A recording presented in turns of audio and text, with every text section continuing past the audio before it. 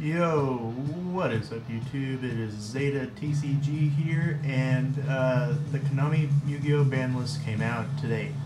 Um, I, I'm just going to do an analysis on what, on what I think of the ban list, and um, yeah, um, I'll get started. Um, well, first, uh, I'll go over what got hit. Um, Djinn, Djinn got banned. Um, Lavalval Chain got banned.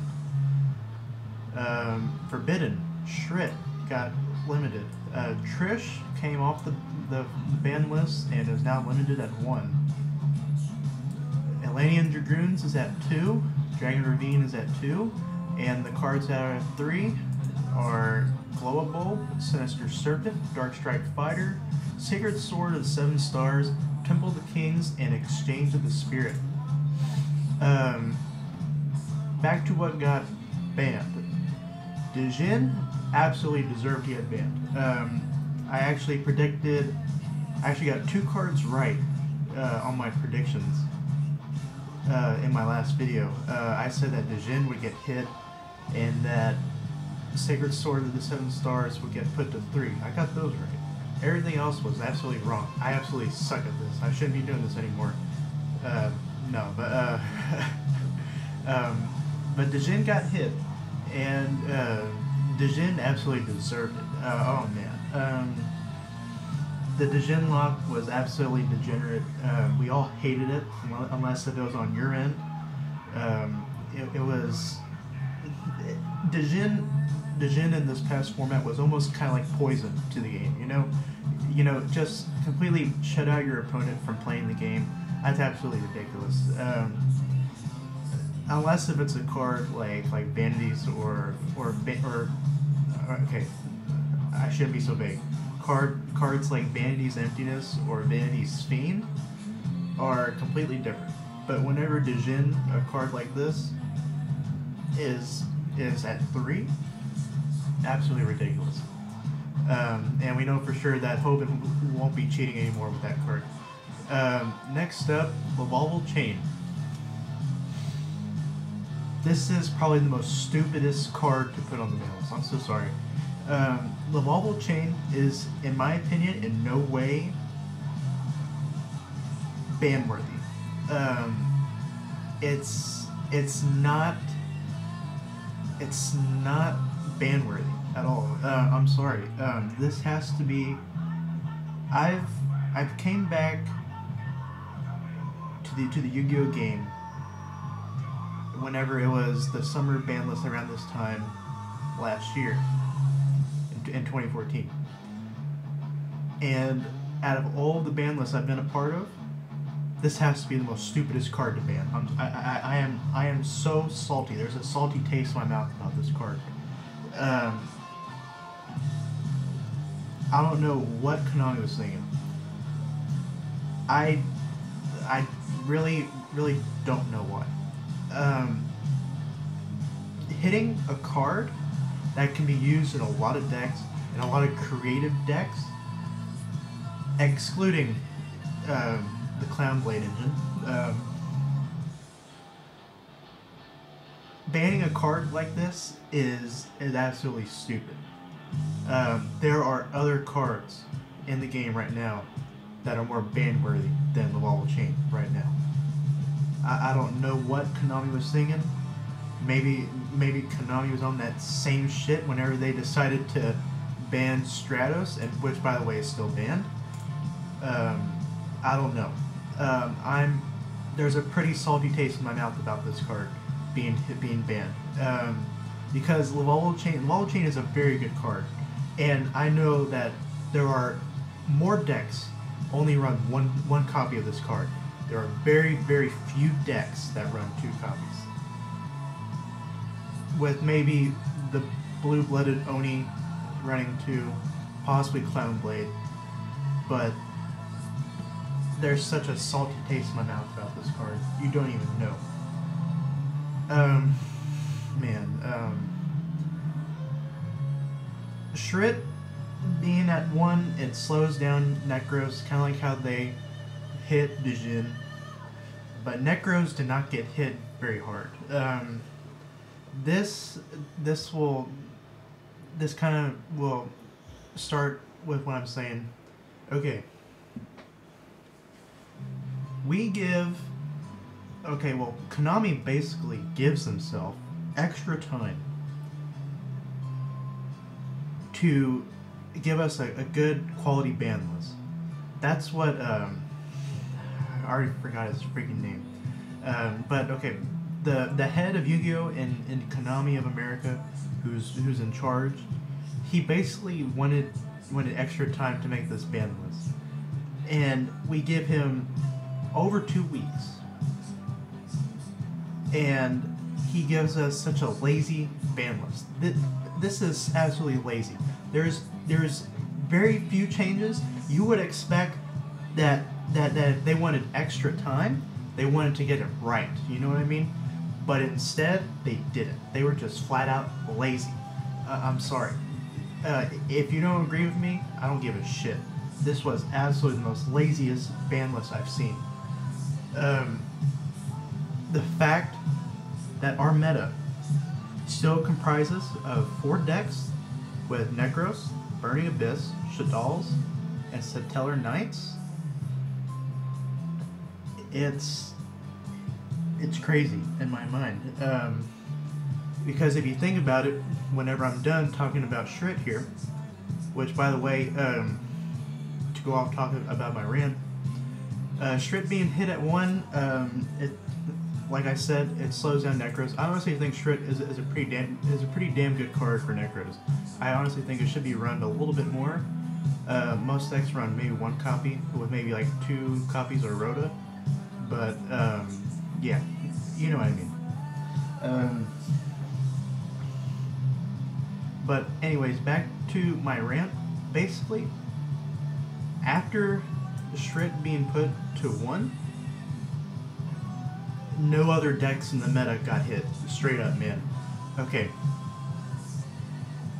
If we look at BA, nothing.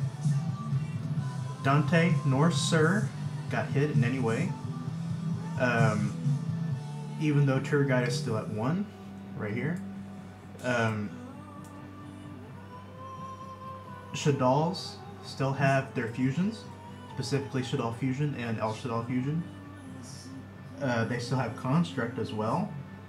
And, and, and when we look at Satellars, um, they still have Deneb, they still have Altair, they still have Vega, they still have uh, Satellar Nova Alpha, they still have all the other great cards, Rhoda, the, the in my opinion, one of one of one of the best searchers in the game.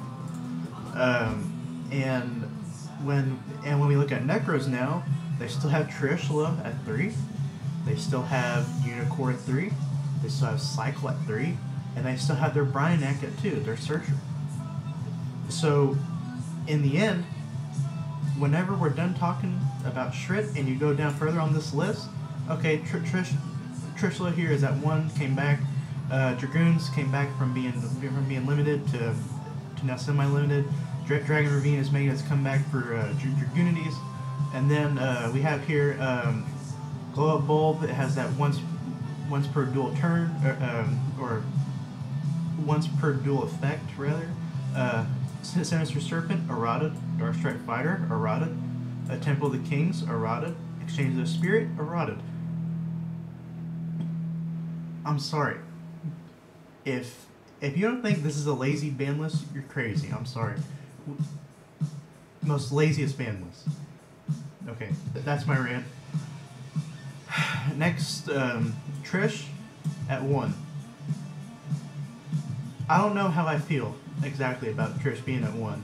I mean, I'm not gonna sit here and say I like it, and I'm also I'm also not gonna sit here and say I don't like it.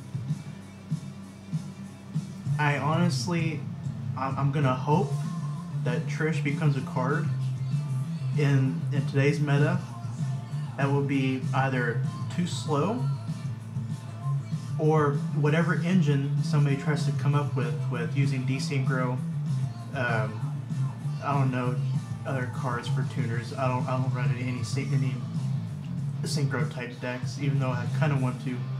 Um, but um, yeah, I don't. I honestly do not know any any good cards to run a good engine with with this card. To just simply shut out your opponent and just banish every card they have.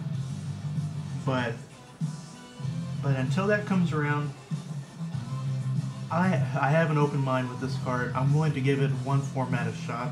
If if somebody does happen to come up with some crazy engine, um, and and really abuse its effect, well then I hope it's banned. Um, kind of like how Nekroz of Trish should also kind of be hit in some way. Um, next up, Atlantean Dragoons. Um, it's fine. It's fine for me. Um, it'll help out uh, Mermails, um, which is fine. Um, Dragon Ravine at two. Uh, that's fine by me too. Uh, Dra- Dra- Dragunity players can finally be a little, little, little bit more happier with this card um, being at two, and of course with um, Dragon Rulers being being done for apparently, um, it, it's it's fine. Um, cards at three, glow up bulb, uh, it's fine. Um, it- like I said, it has that once per duel effect, so it's fine. Um, I expected uh, I expected most erotic cards to be brought back to three. Uh, Serpent, Darkstrike Fighter, Temple of the Kings, Exchange of the Spirit. Those are all fine with me. Um, and when a card gets eroded, it's bound to get put, put back to three um, eventually, unless if its eroded effect is still pretty good, kind of like Crush Card. Um, where is that? Um, yeah, uh, I'm blind. Um, here we go. Yeah, uh, like like Crush Card. Crush Card got eroded and it's still there at one, which is fine. Um, and then uh, Sacred Sword of the Seven Stars being at three. Uh, I called that on my predictions. Good move. Um, but yeah, um, tell me guys, tell me what you guys think about this ban list. I honestly think it's pretty damn lazy. Um, once again, Konami asks, basically gives themselves extra time to, to make a right ban list. But in the end, they only made maybe one big change in Djinn, and you could probably also say for Trish as well.